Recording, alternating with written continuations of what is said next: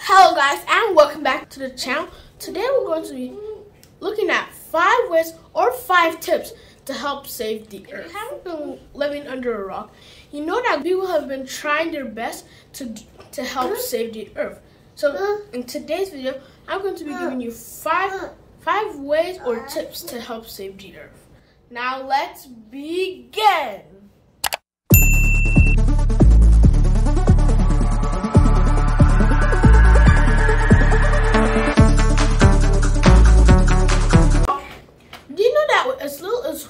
It's one dollar, you can help save the earth? And you might be asking, how can I do that? You can help by donating one dollar or more to Team Trees. Team Trees is a collaborating fundraiser that wanted to get 20 million trees planted before the end of 2020. And you might be asking, what do I have to do with this Team Trees? When you donate $1, a tree is planted, and the tree takes carbon dioxide for, from the air. And we all know what carbon dioxide does, but I'm just giving you a brief description. The carbon dioxide absorbs the sun's energy, making the earth hotter. And so when trees inhale carbon dioxide, they exhale oxygen so that we can have more oxygen to breathe and less carbon dioxide in the air. All trees are planted, that means there will be less carbon dioxide and less carbon monoxide in the in the air, which means reduced global warming.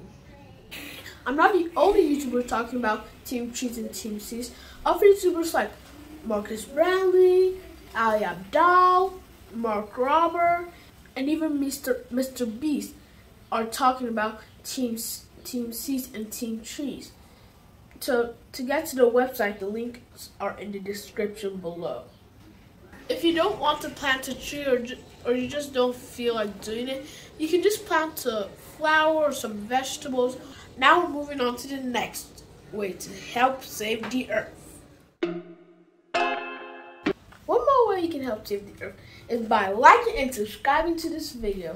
Well guys, I'm just kidding, but actually technically, if this video goes viral, that means YouTube will make this video more frequently seen when people search up how to save the earth. So technically yes, but actually the real third way to save the earth is by conserving water. Why should you conserve water? You should conserve water because it helps reduce the energy you use for, for water to get heated, pumped, and filtered to you.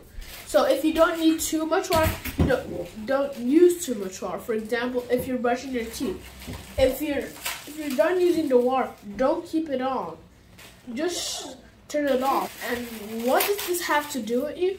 What it has to do with you is that is because the water from oceans, wetlands, and other water supplies will be reduced.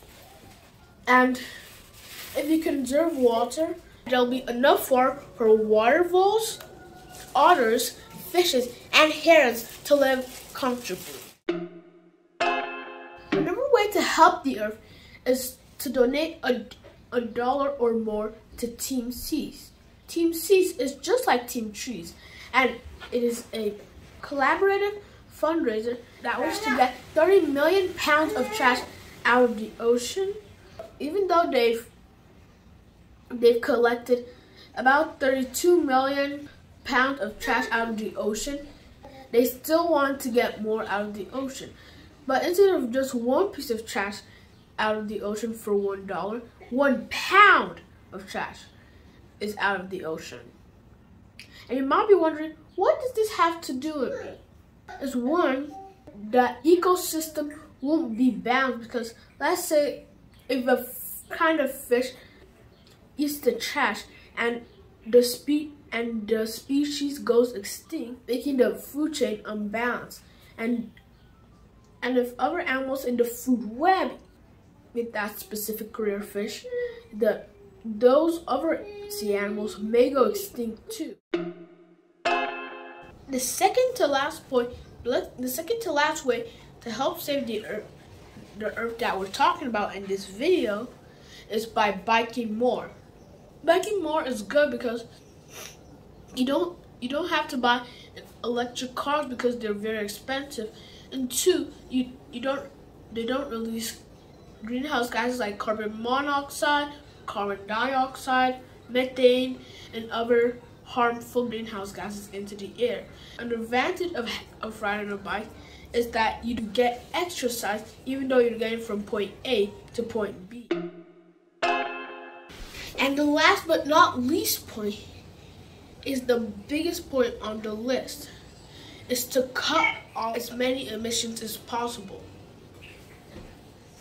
Some emissions are necessary, but other emissions are not necessary. And other things you do that contribute to, to releasing greenhouse gases into the air can be reduced or even banned. Thank you for watching this video. Don't forget to hit this the like button, the subscribe button, and notification bell to know when we upload new videos. The links to Team Seas and Team Trees are in the description below. And now, actually, we're ending this video for good. See you in our next video, and actually, bye.